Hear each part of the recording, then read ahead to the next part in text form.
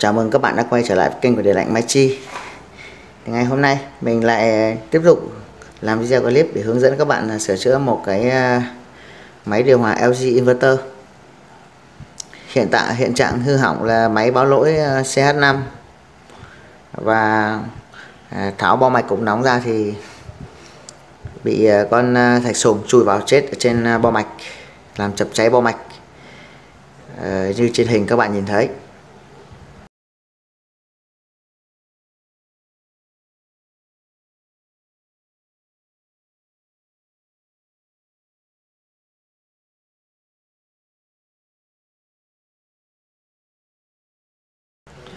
Và hậu quả của em nó để lại là sau khi mình đã gì?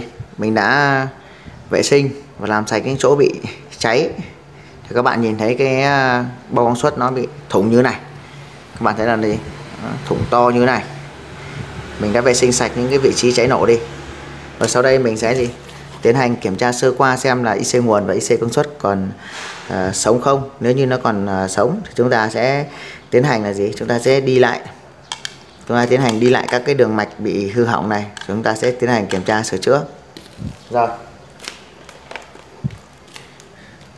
Sau đây mình sẽ gì?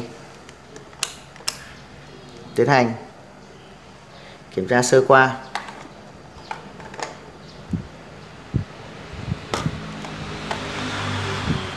Mình sẽ tiến hành kiểm tra sơ qua IC công suất. Xem nó còn làm việc được không?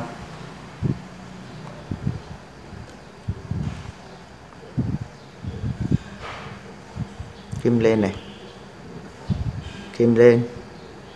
Kim lên. Chúng ta đổi que. Không lên này. Không lên này. Kim không lên này. Rồi, chúng ta đổi vị trí. Lên này. Kim lên này. Kim lên này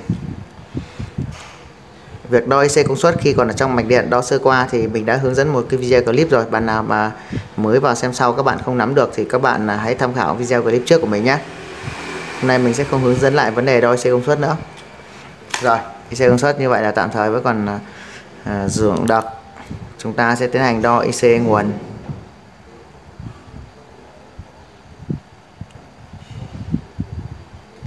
Chúng ta đo qua cái IC nguồn xem là nó còn một chiều lên này. Một chiều không lên này. Rồi như vậy là cả hai linh kiện chính là IC công suất và IC nguồn đều còn gì? Đều còn sử dụng được. Thì chúng ta sẽ chúng ta sẽ tiến hành đi lại những cái đường mạch bị cháy nổ này. Rồi sau đó chúng ta sẽ tiến hành kiểm tra sửa chữa. Rồi sau khi mình đã tiến hành gì? Câu lại các cái đường mạch à, bị cháy nổ như này. Thì mình sẽ tiến hành là kết nối tất cả các dây điện lại. Giữa bo cục nóng với bo mặt lạnh còn lại. Rồi chúng ta sẽ, chúng ta sẽ tiến hành à, cấp nguồn cho máy để chúng ta chạy thử xem là nó gì.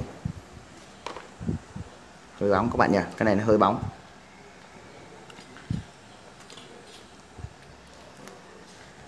Rồi. Sẽ để quạt tài xe đây một tí. Rồi ok các bạn. Mình sẽ tiến hành à, cấp điện vào và xem là cái gì.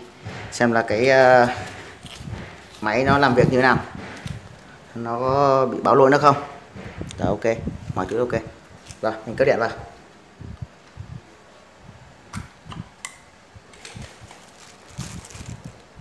Đây các bạn đừng bật máy vội các bạn sẽ để máy không như này.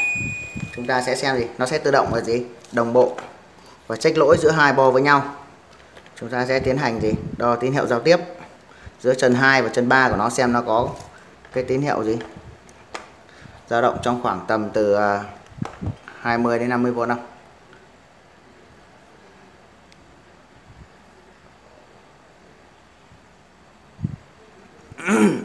Đấy, các bạn thấy chưa?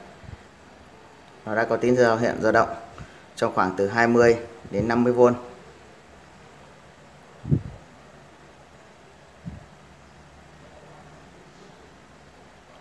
rồi, ok. Sau khi nó tự đồng bộ, các bạn thấy là cái đèn led đây nó cứ nháy nháy, tức là nó đang đồng bộ với nhau. Giờ nó, nếu mà nó gặp vấn đề gì thì nó sẽ chớp lỗi luôn. Chúng ta chưa cần bật máy, nếu gặp vấn đề gì nó đã chớp lỗi rồi còn một số cái lỗi thì phải chạy máy lên thì nó mới có. Thì hiện tại thì lỗi giao tiếp và một số lỗi đơn giản thì nó chúng ta cắm điện vào thì nó đã tự đồng bộ và đã tự uh, check lỗi luôn rồi. Chúng ta sẽ bật máy lên xem là nó có chạy lốc máy luôn không.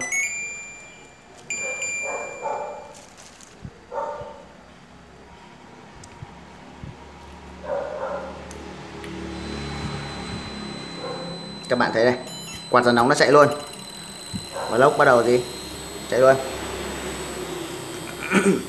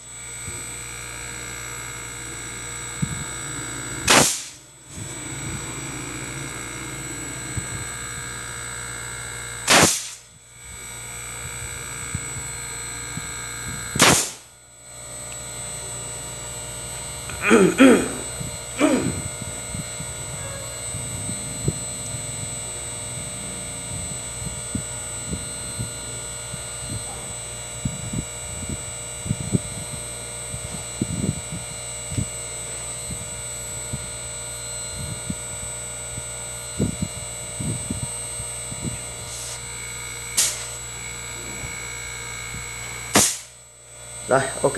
Như vậy là máy đã chạy được uh, ok luôn các bạn ạ.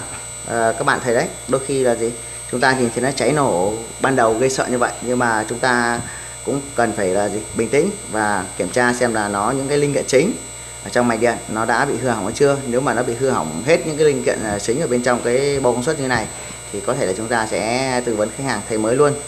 Nhưng mà chúng ta kiểm tra sơ qua mà gì các linh kiện chính mà nó vẫn còn uh, dùng được thì chúng ta sẽ làm sạch và làm cẩn thận chúng ta sẽ làm từng bước một gọn gàng và đẹp ờ, như mình làm đây.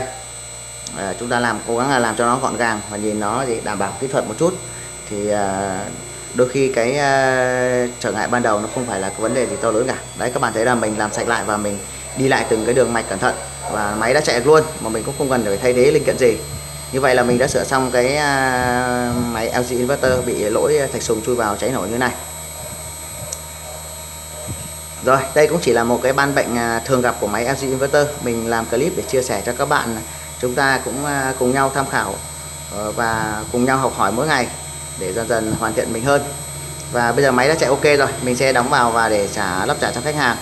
Và mình xin à, kết thúc video ở đây. À, mình xin cảm ơn tất cả các bạn đã dành thời gian quan tâm theo dõi video của mình. À, và nếu các bạn thấy là cái video của mình hay chia sẻ hữu ích thì hãy ủng hộ mình bằng cách là like video cũng như là bạn nào chưa phải là thành viên của kênh điện lạnh Mechi thì hãy bấm nút đăng ký kênh và bật biểu tượng rung chuông để mỗi khi mình làm ra một cái video clip chia sẻ à, về ban bệnh thực tế cũng như là cái tài liệu kỹ thuật thì các bạn sẽ được thông báo. Rồi thì mình à, xin kết thúc video ở đây. À, thân ái chào tất cả các bạn và hẹn gặp lại các bạn ở trong các video chia sẻ tiếp theo của mình.